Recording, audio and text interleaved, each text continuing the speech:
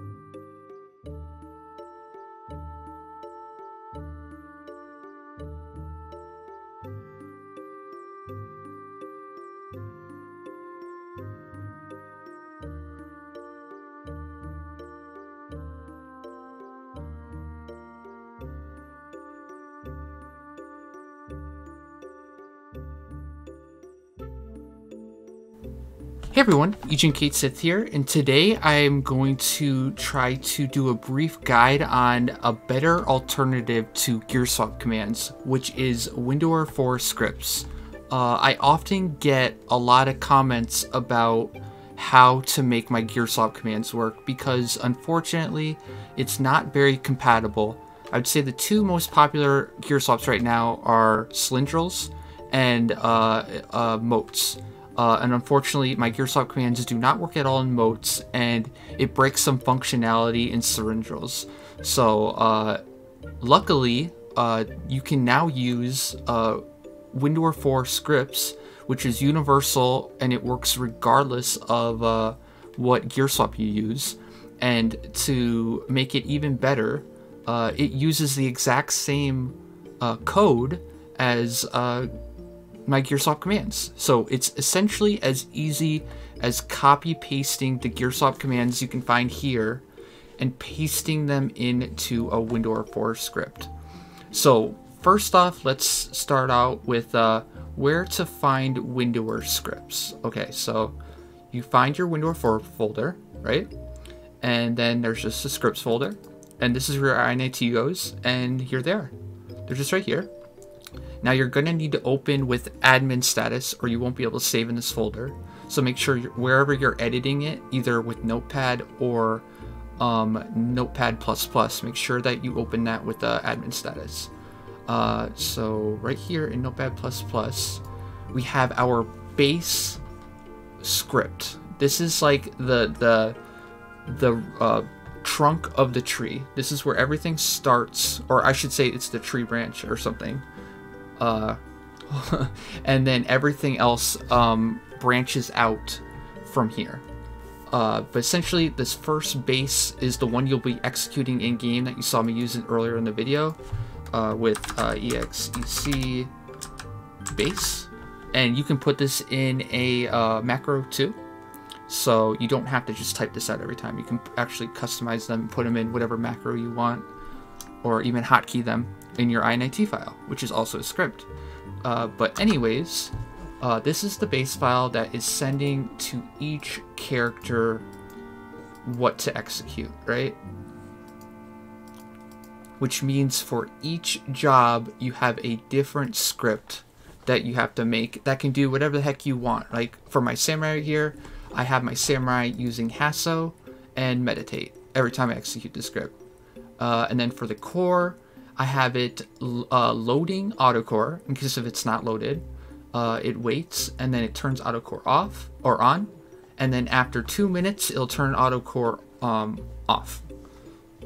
Now you can, uh, I'll leave a link in the description for the autocore add-on. Uh, I actually love it. It makes it really easy and it's a pretty smart add-on. It's a, it's a way better version of what's called roll, something roll, auto roll or something. But this is AutoCore, and uh, I highly recommend it.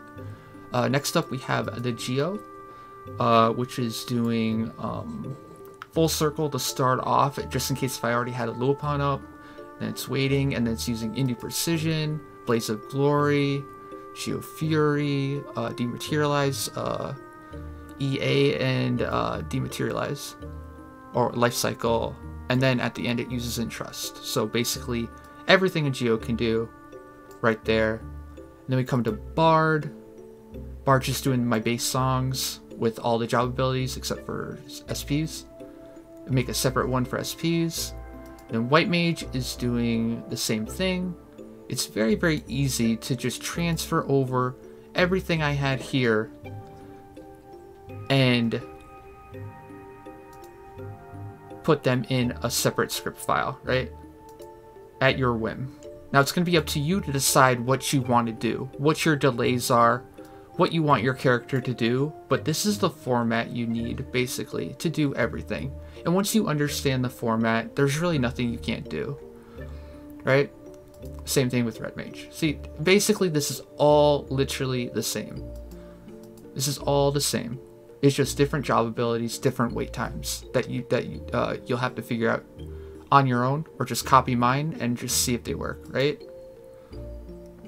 Okay, next I'm going to show you guys the step-by-step -step process of transferring over one of my gear swap commands into the new Windower 4 scripts. Uh, so we're going to start with our base file I told you about earlier.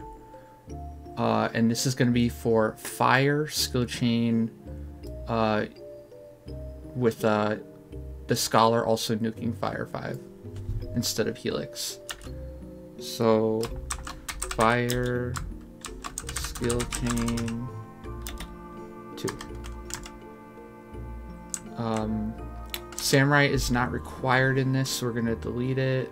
Actually, the three that we, the two that we need is just actually Geo, um, Geo F2 for Fire 2, uh, Scholar F2 or Fire 2, obviously, uh, Red Mage. And you know, you can name these whatever you want. It really doesn't matter. This is just me making making stuff up on the fly. It honestly does not matter what you name these as long as it corresponds to the correct file. Okay, so to explain it more, um, the geos the geos do the same thing, right? So they can both execute the same file. Scholar does a different file, so it needs a different um, the uh, different uh, file, obviously, and then Red Mage does uh, has different delays probably, so we'll just separate that. Uh, we want to send this to Shreya, she's a Geo, and Shred is also a Geo. So we want to just copy this. Make another one. And then make it Shred instead. Okay, so this is our starting base. And we'll just call it F2.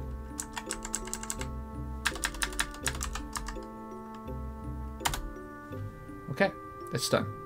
So next, we're gonna make the... Let's go in order, actually. We'll do the Geo first. And we called it Geo F2. Let's remember that. So we're just gonna go over to...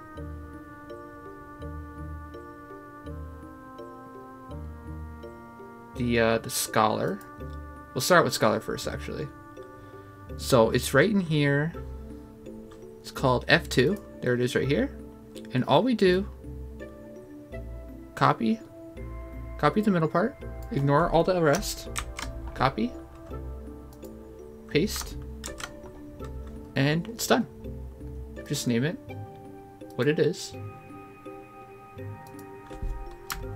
Scholar.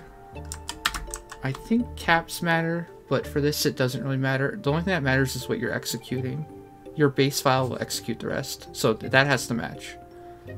Uh, yep. We'll open up the base to make sure we called it the right thing real quick, actually. Oh yeah, we capitalized everything. Okay, so good. We'll just check the Scholar one again. Scholar F2. And we're good. That That's what makes skill chain. Um, okay. Now we will make, what is next? We already did the geo. Uh, now we'll do the geo. Okay. So all we do, now I'm not sure if I have the geo one added to this right now. So we're just gonna take the black mage one.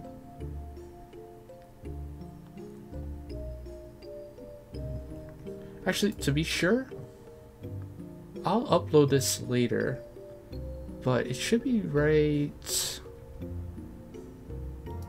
We'll just get it from my actual Lua, so so there's no mistake here.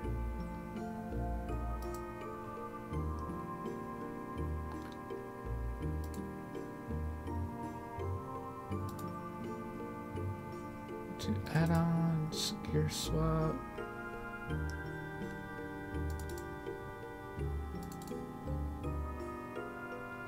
Geo. Find F2. Oh, yep, there it is. We're just copying the middle part. Easy. And we are just pasting it. And then calling it Geo F2. Save as. Geo F2. Both of those geos are done now. Uh, the last one we have to make is for Red Mage, which I'm pretty sure is exactly the same. So we're just gonna copy this. We're gonna rename it Red Mage F2. Okay, so now we have a mob ready to go, and uh, it's uh, what we just made is as easy as just typing exec F2. The scholar makes the skill chain. And all the mages magic burst it. Exactly like the Gearswap command. So it's just as simple as copy pasting from the Gearswap command um, code and pasting it into the Windower 4 script. And finally, I want you guys to know that I will be updating my GitHub more to transfer the GearSwap command code over to the script code. So if you're interested in transferring, it's as easy as going to the GitHub uh, and copy pasting whatever you want uh, for yourself. Uh, so that's going to do it for the video. Thank you so much for watching. Remember to like and subscribe uh, if you enjoyed the video. And don't forget that I also stream on Twitch. So if you have any specific questions about anything Final Fantasy related, feel free to hop on Twitch and uh, ask me. But yeah, thank you again for watching the video. You guys take care.